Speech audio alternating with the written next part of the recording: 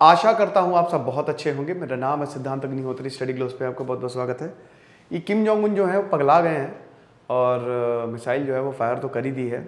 Japan के ऊपर नहीं, जापान के ऊपर से गई है मतलब जापान के ऊपर ही फायर किया एक तरीके से। और आपको बता दूँ कि इससे बहुत बड़ी दिक्कत हो सकती थी, क्योंकि इंटरनेशनल लॉस के हिसाब से आप मिसाइल फायर नहीं कर सकते। नॉर्थ कोरिया किसी के कंट्रोल में है नहीं। दोस्तों, लोगों की बैंड बज गई, लेकिन अब आपकी बैंड नहीं बजेगी, क्योंकि हमारी नवरात्र सेल शुरू हो गई है। परसों तक ये सेल है, रात 12 बजे तक। दशहरा कूपन कोड आपको यूज़ करना है और को बहुत ज़्यादा फ़ायदा होगा। तो एक्स्ट्रा 25 परसेंट आपको ऑफ़ मिलेगा। फटाक से कोर्सेज को अवेल करें। ओके सारे कोर्सेज पे ये ऑफ़र है। चलो, ये तो चलिए यूट्यूब प्रोग्राम है। इसमें आप अपना जो सीवीज है वो भेजते रहिए। आज हमने पहला ग्रुप बनाया, उसकी मीटिंग थी। तो अभी अगर बैलिस्टिक मिसाइल की बात करें तो 4500 किलोमीटर तक ये ऊपर गई और ये पैसिफिक ओशन मतलब समझिए कि जापान से थोड़ी बगल में गिरी है, जापान के ऊपर से गई है ये मिसाइल।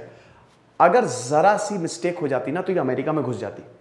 ये अमेरिका में घुस जाती और अमेरिका के गुआम आइलैंड को ये, और अगर ऐसा होता तो गया world war three yes world war three वैसे बहुत ही कम चांसेस है पर अगर ऐसे नकारे देश रहे नॉर्थ कोरिया जैसे, तब तो ये होके ही रहेगा।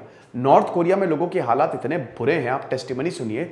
आप समझ लीजिए कि दिन में चार बार मंदिर जाएँगे और दस बार प्रार्थना करेंगे कि भग, शुक्र है कि मैं भारत में हूँ, क्योंकि इतनी हालत खराब है वहाँ पे नॉर्थ कोरिया की। वहाँ पे लोग, आपको पता, हंस भी नहीं सकते। अगर वो तेज हँसते हैं तो कहीं पुलिस उठा के ले जाए। तो ये समझिए कि 2017 में इस तरीके का मिसाइल लॉन्च हुआ था। अभी किम जोंग उन ने अपने आप को न्यूक्लियर स्टेट घोषित कर लिया। मैंने बताया कि यूनाइटेड नेशंस के बिल्कुल भी ये कंट्रोल में है नहीं। किसी के कंट्रोल में नहीं है। थोड़ा बहुत अगर किसी के कंट्रोल में है तो चाइना के कंट्रोल में है। और इसीलिए थोड़ा बहुत मतलब यहाँ पे नॉर्थ कोरिया के कंटेक्स्ट में चाइना की वैल्यू भी ज़्यादा है। तो लॉन्च अब समझिए कि इसमें ये इतना खतरनाक था सायरन बजने लगे। ऐसा पहले नहीं हुआ जापान में। सायरन बजने लगे और लोगों से ये बोलने लगा कि बंकर में जाओ। जापान, अमेरिका ने बंकर अंकर बनाए हुए आपको पता है। कल को अगर न्यूक्लियर अटैक हो जाएगा तो अपनी जनता को बचाने के लिए उन्होंने ये सब किया हुआ है। वैसे इसे पड़ोसी तो करना ही पड़ेगा। यूनाइटेड नेशंस नॉर्थ कोरिया को एकदम प्रोहिबिट करता है कि आप बैलिस्टिक और न्यूक्लियर वेपन्स टेस्ट नहीं कर सकते। नॉर्थ कोरिया हेड है। नहीं तो फर्जी की बात तो उसके बाद फ्लाइंग मतलब यही है कि आ, कोई उसको फ़र्क नहीं पड़ता। और वैसे भी अगर आप न्यूक्लियर मतलब ये मिसाइल है समझ रहे हो?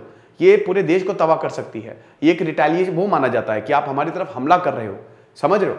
तो इसमें देश भी हमला कर सकता है, जापान भी चाहता तो हमला कर सकता था। तो ये युद्ध का आह्वान होता है, एक तरीके से।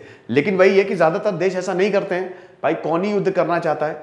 आज का समय अलग है तो ज़्यादातर देश बोलते हैं, चलो ठीक है, गलती हो गई है, गलती हो सकता है, हो गई हो।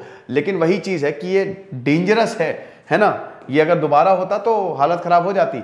अब यहाँ पे जो लोग हैं, होकाइडू आइलैंड और आमोरी सिटी में, वो एकदम से उठे और देखा कि सायरन बज रहा है। पहले उनको लगा कि अच्छा अलार्म है। ना ना, ये जापान अलार्म बजा रहा है क्योंकि सायरन बज रहे हैं।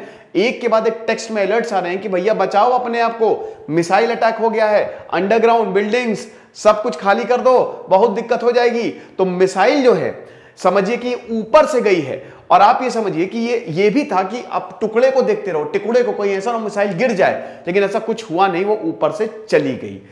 अच्छा हुआ।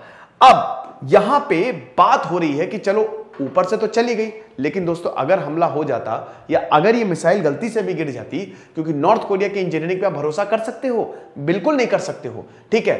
तब क्या होता? तो लोगों का दिमाग तो बहुत ज़्यादा खराब है ही है। ये एकदम ऊपर गई। आप समझ रहे हो, हज़ार किलोमीटर इंटरनेशनल स्पेस स्टेशन से भी ऊपर गई। और फिर तो इस तरीके का, अरे मतलब ये वाली मिसाइल ऊपर नहीं गई, इन्होंने ये टेस्ट किया है।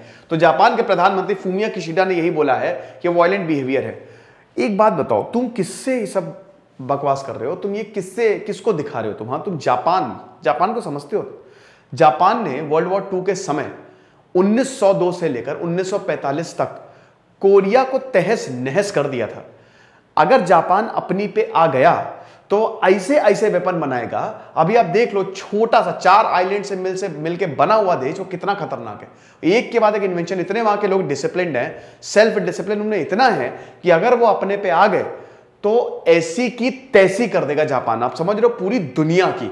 अभी अमेरिका जापान को सपोर्ट करता है कि तुम्हारे ऊपर कोई हमला हो रहा है तो हम हैं। तुम परेशान मत हो। 1945 क्योंकि हिरोशिमा और नागासाकी पर बॉम्ब गिरा दिया अमेरिका ने। तो एक प्राश्चित है कि हम तुम्हारे साथ है। प्राश्चित आश्चित क्या है? सब यहाँ पे पैसे का हिसाब किताब है। ठीक है कि तुम अपने ऊपर फोकस करो। बाकी देख लेंगे हम हमला हमला। लेकिन अगर मान लीजिए कि जापान, देखिए इन्होंने बोला है कि हम अपनी काउंटर अटैक कैपेबिलिटीज बढ़ाएँगे।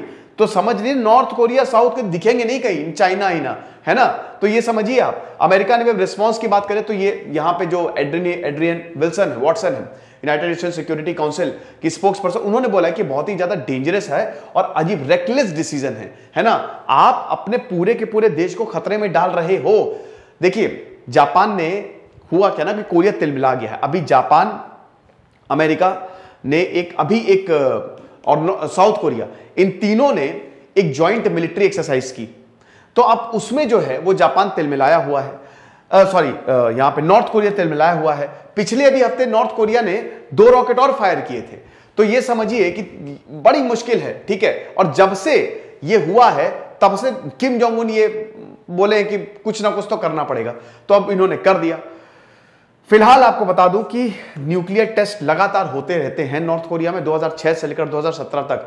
10 सालों में इन्होंने लगभग हर एक मिसाइल का परीक्षण किया। किसी दिन नॉर्थ कोरिया के पास कितनी सारी मिसाइल हैं, ये मैं सब आपको बताऊँगा, ठीक है? नॉर्थ कोरिया कोरिया की एक दुश्मनी भी है जापान से। साउथ कोरिया भले ही जापान अभी साथ हैं, लेकिन देखिए, ये कोई नकार नहीं सकता कि जापान ने जो कोरियंस के साथ किया, जापान ने सबके साथ, साउथ ईस्ट एशियन के साथ जो बर्बरता की है कंफर्ट वुमेन पे अभी तक माफ़ी नहीं मांगी है तो वो सब यादें जो है ना, वो ताज़ा है। तो ये लेक्चर था, लेकिन दोस्तों, इससे हड़कंप मच गया है। और पूरी दुनिया में भी हड़कंप मच गया है कि भैया, ये क्या हो रहा है? ये तो बैंड ही बजा देंगे। नॉर्थ कोरिया को कुछ ना कुछ उसका करना पड़ेगा, वरना किसी दिन बहुत बड़ा हादसा हो सकता है। खुश रहिए, पढ़ते रहिए। जैसे सिद्धांत अग्निहोत्री, साइनिंग ऑफ़।